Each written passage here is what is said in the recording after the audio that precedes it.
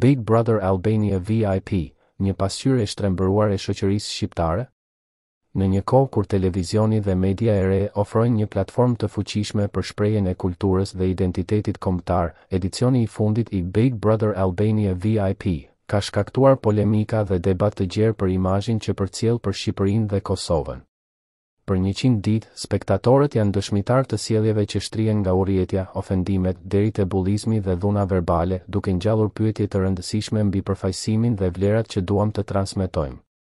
Shtëpia e Big Brother në këtë sezon ka shfaqur një dinamikë shqetësuese, duke u larguar qartazi nga idealizimi i mirësjelljes, kulturës dhe traditave që shumë shqiptarë mbajnë të shtrenjta.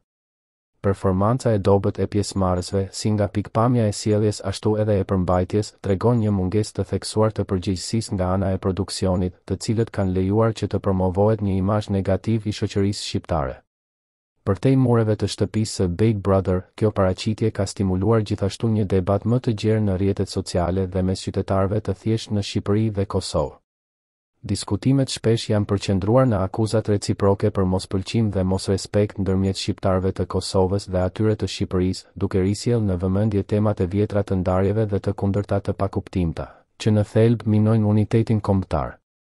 Sidoqoftë, është thelbësore të kuptohet se sjelljet e përcjella në këtë program televiziv nuk duhet të shihen si një përfaqësim i shoqërisë shqiptare. As Shqipëria dhe as Kosova nuk përfaqësohen nga këto karaktere të ekranit, të cilët më shumë reflektojnë një segment të vogël dhe jo të shëndetshëm të shoqërisë. Shqipëria dhe Kosova janë të pasura me njerëz që vlerësojnë dhe praktikojnë besën, nderin dhe kulturën, vlera këto që kanë qenë shtylla të identitetit kombëtar përgjatë shekujve, gjë e cila nuk shihet nga asnjë nga këta të ashtuquajtur VIP-ë.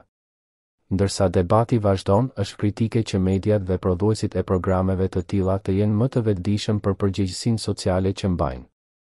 Është koha për të rishikuar dhe ndryshuar mënyrën se si konceptohet dhe ofrohet përmbajtja televizive, në mënyrë që ajo të nxisë jo vetëm argëtim, por edhe reflektim dhe respekt të ndërsjellë.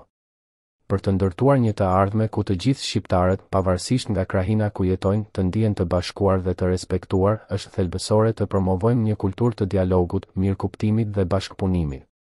Vlerat që na bashkojnë janë më të fuqishme se çdo program televiziv dhe duhet të jenë baza mbi të cilën ndërtojmë imazhin tonë kombëtar për brezat që vijnë. Këto rajone janë si kapituj të një libri të pashkruar që rrëfejnë historinë e një kombi të ndarë nga kufijtë politikë, por të bashkuar nga një zemër e përbashkët kulturore dhe historike. Kosova, Lugina e Preshevës, Sanxhaku, Ulqini dhe Tuzi, Çamëria, Tetova dhe rajone të tjera në Maqedoninë e Veriut, Golobrdo dhe Gora, pjesa malazeze dhe bregu i Çamërisë, Thesprotia, Pazari i Ri, Nishi dhe shumë vende të tjera, janë dëshmi të gjallë të asaj zemre të çarë të Shqipërisë së Madhe. Këto troje, edhe pse të ndara nga kufijtë shtetërorë, vazhdojnë të jetojnë me ritmin e njëjtë të zemrës shqiptare, duke dëshmuar se identiteti dhe trashëgimia kulturore mund të tejkalojnë barrierat politike dhe gjeografike. Si pjesë e kësaj zemre të copëtuar, është detyra jonë të njohim, ruajmë dhe nderojmë këtë lidhje të pashkëputur që na bën të gjithëve, pavarësisht nga vendndodhja, pjesëtarë të një kombi të madh dhe të lavdishëm. Vetitë që na përkufizojnë si shqiptarë përfshijnë respektin, besën, kulturën dhe traditën. Ato janë thesaret tona më të çmuar. Ajo që kemi parë dhe dëgjuar në Big Brother VIP Albania nuk reflekton asnjë prej këtyre vlerave të larta. Prandaj, është thelbësore që të qëndrojmë të bashkuar dhe të kujdesshëm ndaj imazheve që promovohen në emër të kulturës sonë. Le të ruajmë këto vlera derisa të rishihemi sërish, jo si territore të ndara, por si një Shqipëri e bashkuar dhe e madhe.